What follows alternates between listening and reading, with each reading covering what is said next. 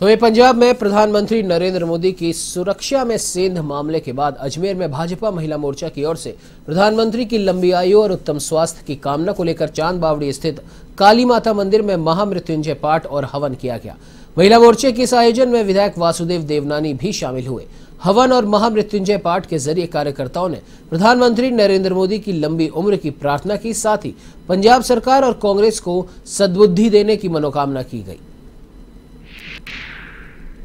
आज हम लोग जिस तरह आप सभी मीडिया भाइयों के द्वारा सभी को पता है कि जिस तरह हमारे माननीय नरेंद्र मोदी जी, प्रधानमंत्री, जो इस देश की सुरक्षा के लिए हमेशा खड़े हैं और खड़े रहेंगे, ऐसे प्रधानमंत्री के लिए आज पंजाब में कांग्रेस सरकार के द्वारा उनकी सुरक्षा पर इस तरह का हम लोग ऐसे सीएम वो जहाँ के हैं पंजाब के जो सीएम हैं जिस तरह से उन्होंने यहाँ पर हालात करे कि हमारे जब प्रधानमंत्री आ रहे हैं तो उनकी सुरक्षा में कोताही बरती गई है और उन, उनके जो काफिला था उसको रोका गया है। भारतीय जनता पार्टी के कार्यकर्ता जितने भी वहाँ पे आ रहे थे उस काफिले के साथ में और उस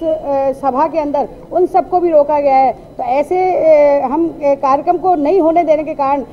इस तरह के सीएम को हम लोग जो कांग्रेस के सीएम हैं, हम ऐसी चीज़ के सभी महिला मोर्चा मिलकर इनकी निंदा करते हैं। ऐसी सरकार जो हमारे पीएम की सुरक्षा नहीं कर सकती, वो हमारे देश की क्या सुरक्षा करेगी? हम सभी लोग इस चीज़ को लेकर हम यहाँ पर इस चीज़ की निंदा करने के साथ साथ आज हमने यहाँ पर चाँद बावड़ी